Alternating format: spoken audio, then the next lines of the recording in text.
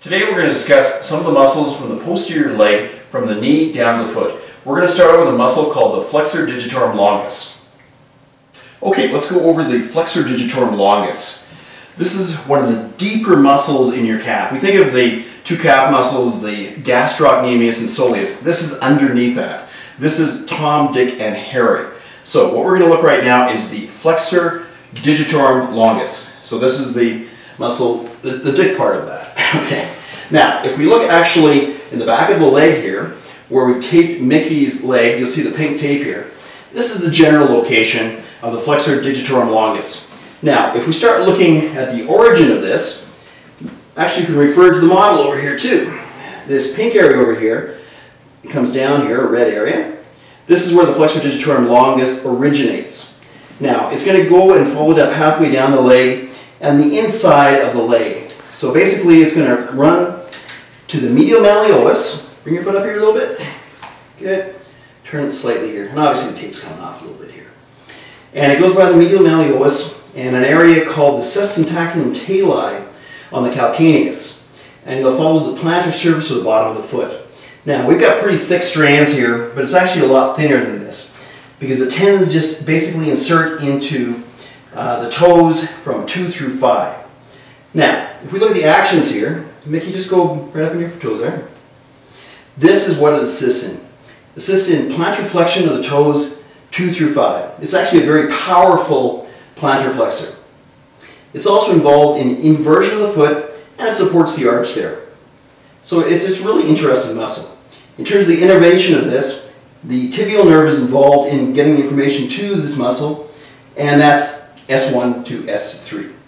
Now we're going to talk about the tibialis posterior muscle. So again, Tom, Dick, and Harry. We already talked about the dicks, and now we're going to talk about Tom. Okay. Now, if we look at the posterior of the leg here, in green here, we have it outlaid for the tibialis posterior. Now, I'm just going to bring the skeleton back in here, and we're going to look at a little more medial here. This red area here, not the outside one, but the medial one here. And this is the origin of the tibialis posterior. It arises from the posterior superior tibia, fibular shafts, and also from the interosseous membrane, which is actually an area between here, connective tissue, between the fibula and the tibia. Now, the pathway of this particular muscle is just a little more lateral as compared to the flexor digitorum longus. Now, we come down the leg here, and it's posterior again to the medial malleolus and anterior to the sustentaculum tali. So bring your foot up here. So just along the ankle here, underneath the foot. The difference is on this one is that it's inserting in several areas of the bottom of the foot. And again, we've got fairly wide tape here, but I just want to show you the general region. The insertion is on the prominent medial tubercle of a bone called the navicular. Now, so you can hold your foot up there just like Mickey? Great. I'm going to try and show you here.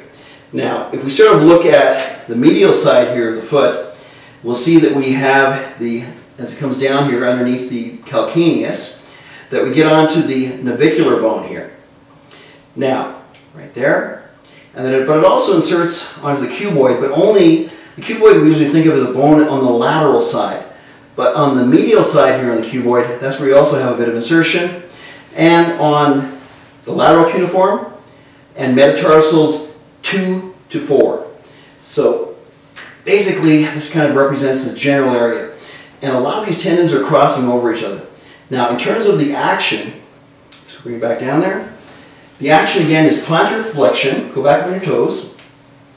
Also inversion, and also supports the arches. Bring that back down.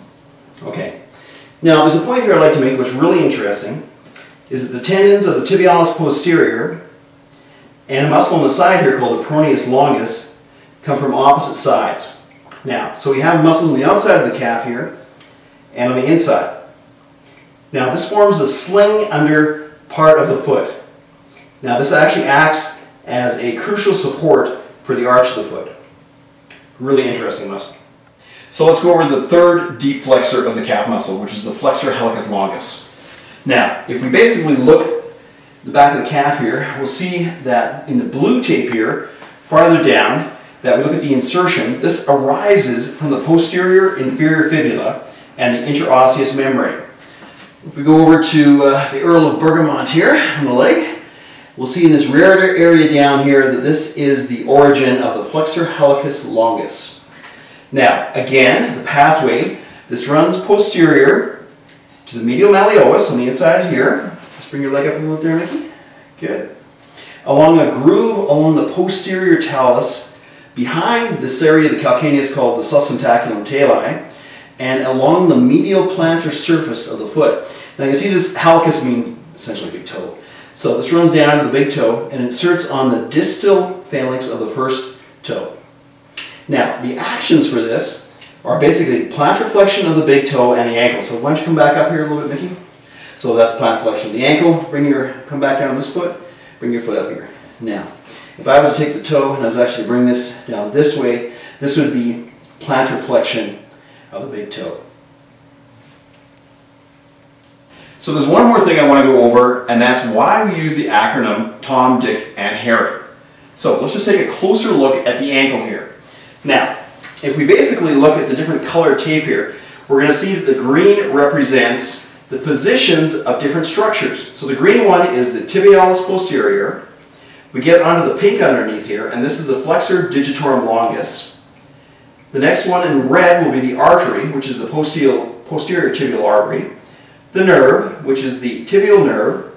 And the one in blue here is going to be the flexor hallucis longus. So, Tom, Dick, Ann, and the an represents AN, artery nerve, and Harry, the muscle. So these are all the tendons, the nerves, and the artery in a smaller area that actually goes around the ankle. A really easy way to remember the order of these structures as they pass around the medial malleolus.